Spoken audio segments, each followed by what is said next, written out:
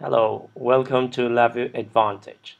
In this video, we'll learn how to create a .rtf file of a LabVIEW application so that we can print its front panel and block diagram. The print and we have the option whether we want to print our multiple VIs.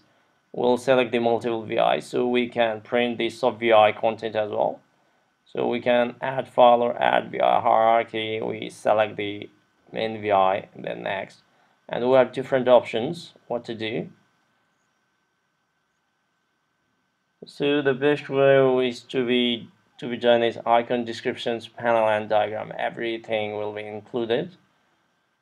If we want the documentation, we can want the documentation, we can select that one. And then now we can directly print or we can produce the different file. We'll select the .rtf file and we can select the different colors what we want depending on our requirement and we'll save it.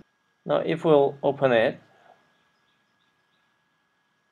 as you can see the main VI is there. Uh, it's VI document documentation uh, is followed by the icon then front panel and then the block diagram and finally the control descriptions as well as the sub front panel and sub block diagram.